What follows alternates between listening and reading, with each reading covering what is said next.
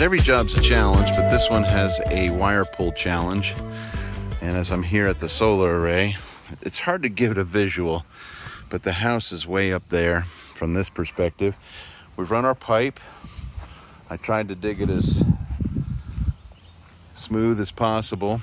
We're gonna pull pull in. So we're gonna vacuum a pull string in, hopefully here. And to run this vacuum out here without any power, I'm using my EcoFlow Delta solar generator.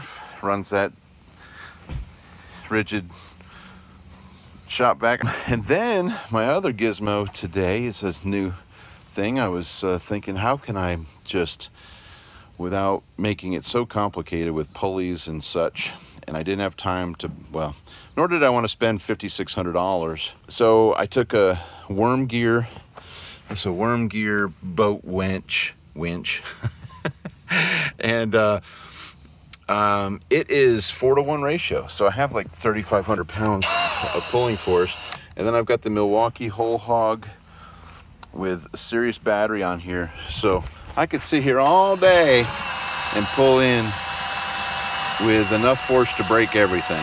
Yes! Anchored to anchored to the dually. We're gonna pull we're gonna pull this wire over to mountain today. Anyhow, we're getting set up to do a serious wire pull.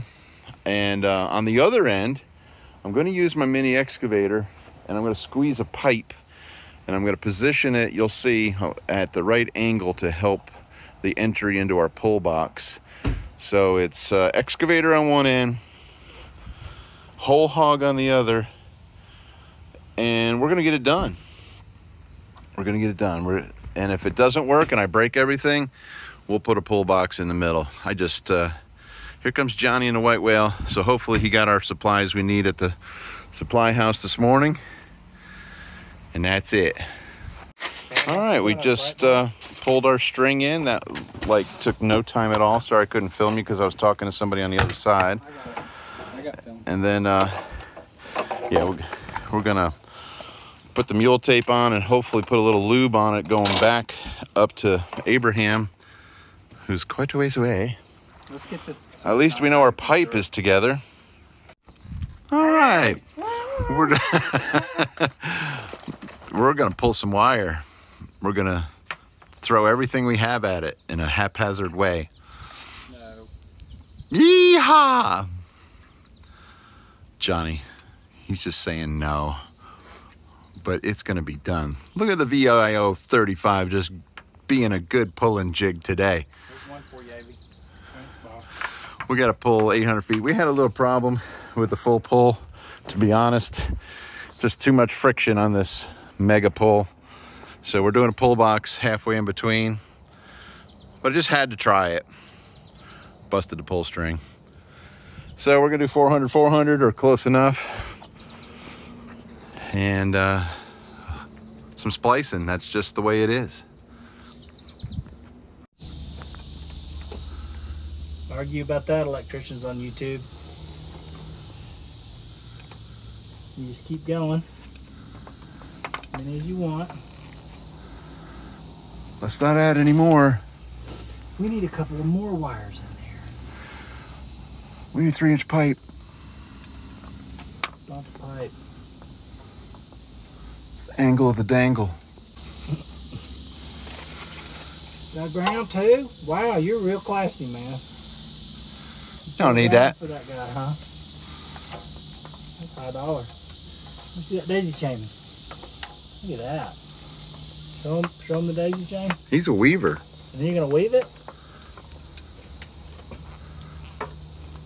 Dude, you're a real pro, man. Yeah. He's a pro. It's. How many wires have you pulled, Abe? How many feet of wire you pull? What's your lifetime pull count? Must be must be up over a million by now. 40 million feet.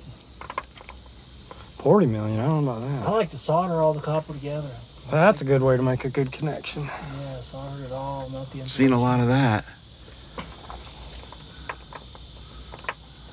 What's the next move?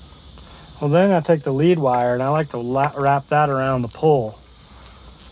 And you get a little tape involved in the situation? Yeah, then I'll, I'll take these other leads coming off of here and I'll kind of wrap them around too. so I get some good physical contact as I proceed along.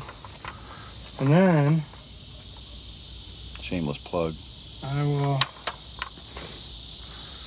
start pinching a little, pinch it low. Then I'll start taping. And then the tape comes. He's a one man show. Would you consider this like the zen of the pull?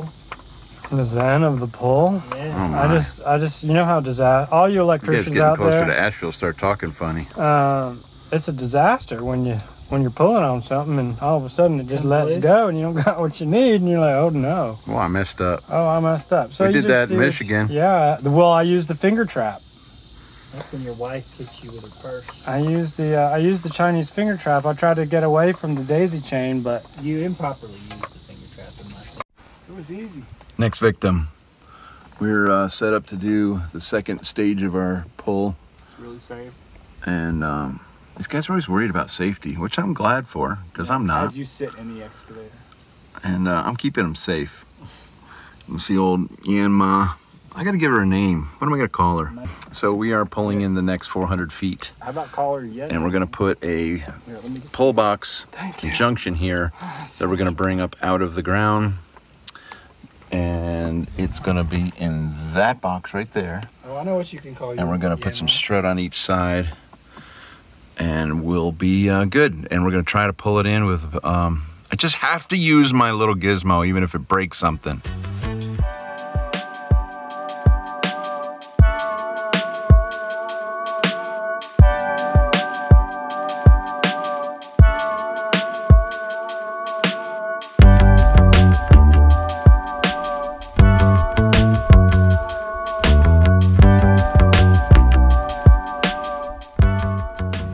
Sorry for the bad footage before. Just wanted to show you that it was successful.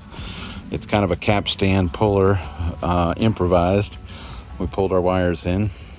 Uh, these are a little over 400 foot on this of number six.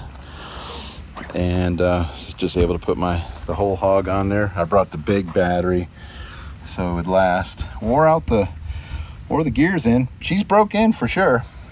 Um, but with the right amount of pressure, like Antonio was holding, it was great. The cool thing is, if once it gets harder and harder, we don't bind it, it'll just slip, and that keeps us from breaking mule tape. This is four to one, so it was really slow.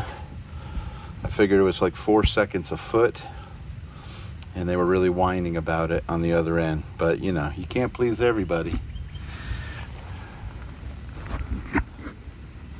All I know is that was the easiest wire pull I've ever done because I'm usually the fat walrus on the anchor end pulling it in.